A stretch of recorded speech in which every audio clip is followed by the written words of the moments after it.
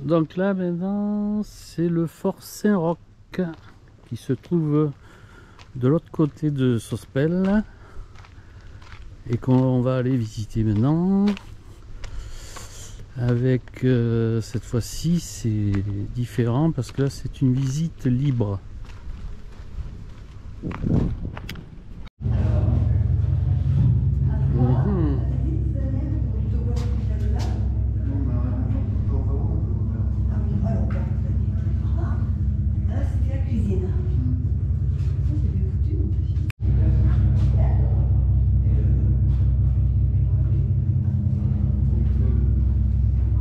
garage pour wagonnets alors là c'était des wagonnets électriques.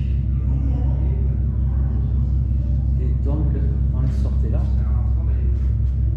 avec la porte tournante qui permettait de changer de direction.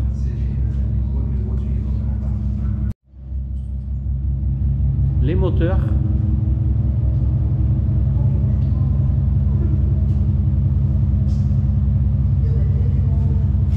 Donc ça c'est les, les moteurs en cas de panne de courant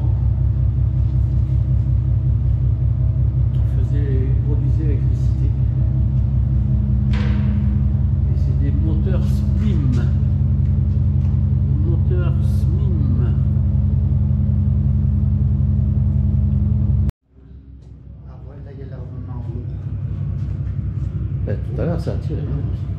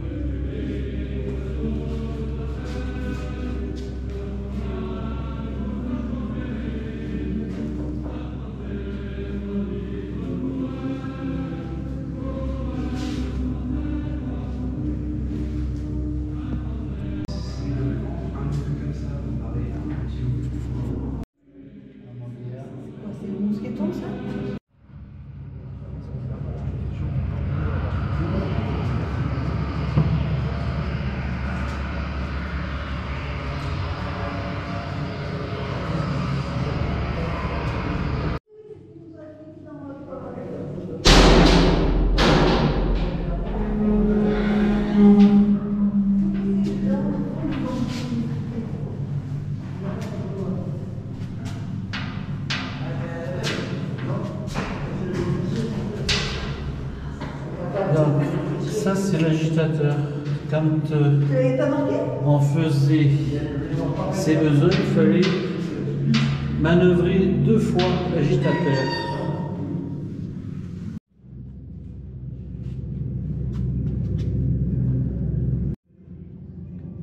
Et Voilà, dans les forts, dans les ouvrages comme ça, il n'y avait pas de douche. Juste, euh, voilà, c'était le seul endroit pour se laver et l'eau était à 10 degrés à peu près. Ce qui fait que les personnes qui étaient là restaient pas longtemps le robinet ouvert.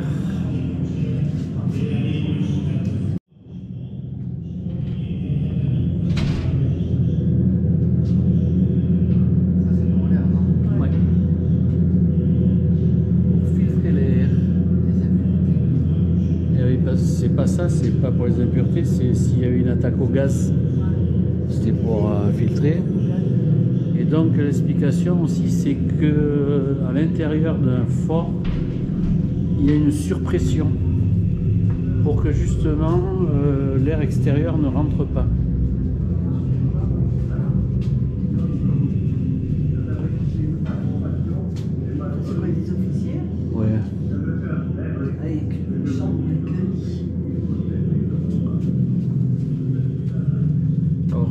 ça c'est plus des sous-officiers plutôt.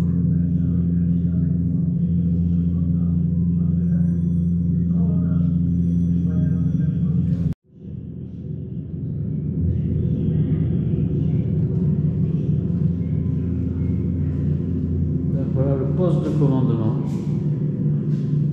Alors normalement ici il devrait y avoir des téléphones, parce que tout l'effort était relié par téléphone. Évidemment, hein, ce n'est pas les téléphones euh, comme on avait. Ça, c'est un coffre-fort pour ranger les cartes secrètes ou les messages secrets. Et là, il y a vraiment en détail toutes les batteries sur des panoramiques pour, apprendre des- pour aider aux décisions, savoir où il fallait tirer.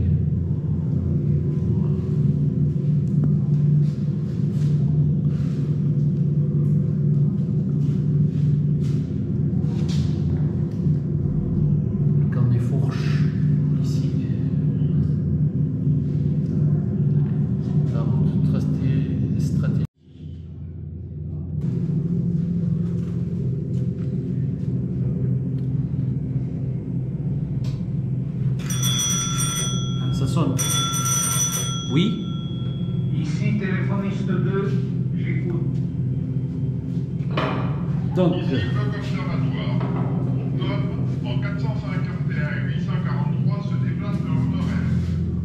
donc voilà, ça c'est une machine.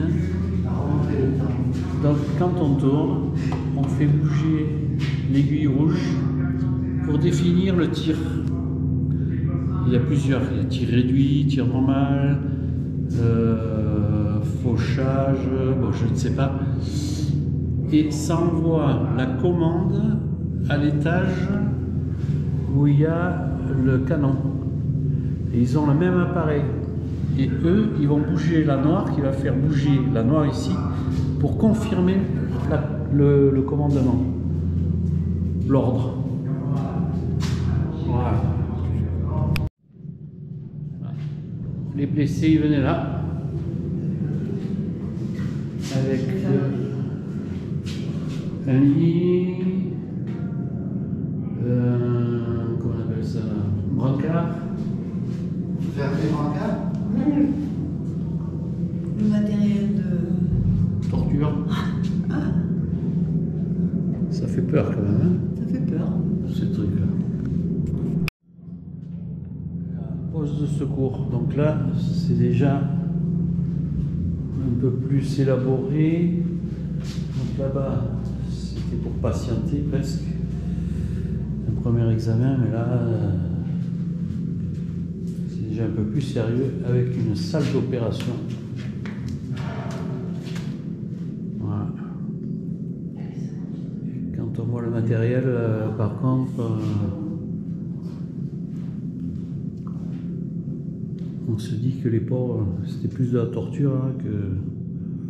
Mais bon.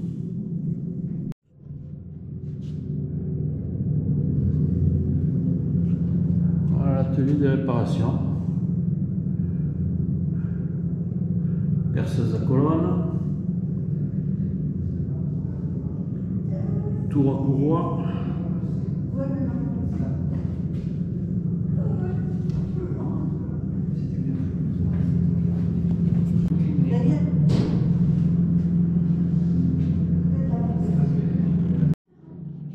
Donc la machinerie du plan incliné, c'est-à-dire que là, il y a des chariots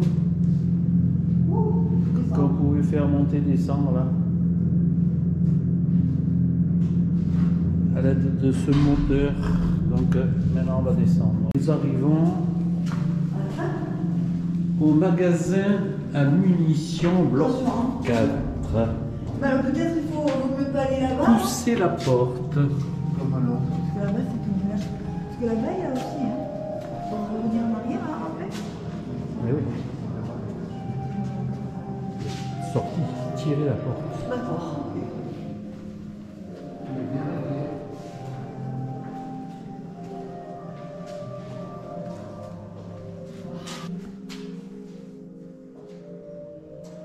Il y a aussi des périscopes.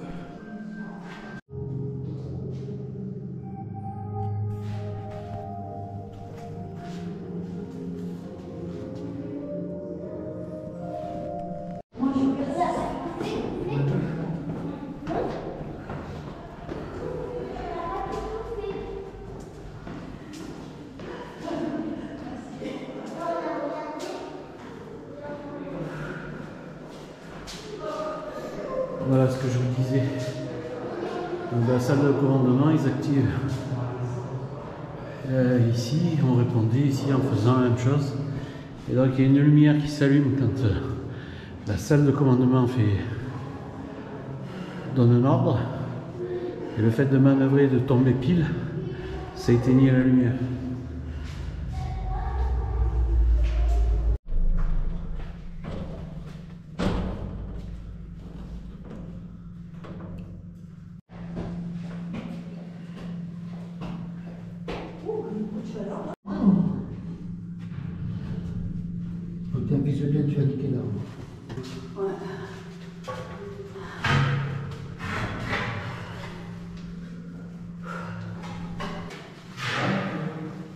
Bon, là, il n'y a Là, pas de canon. Ah oui.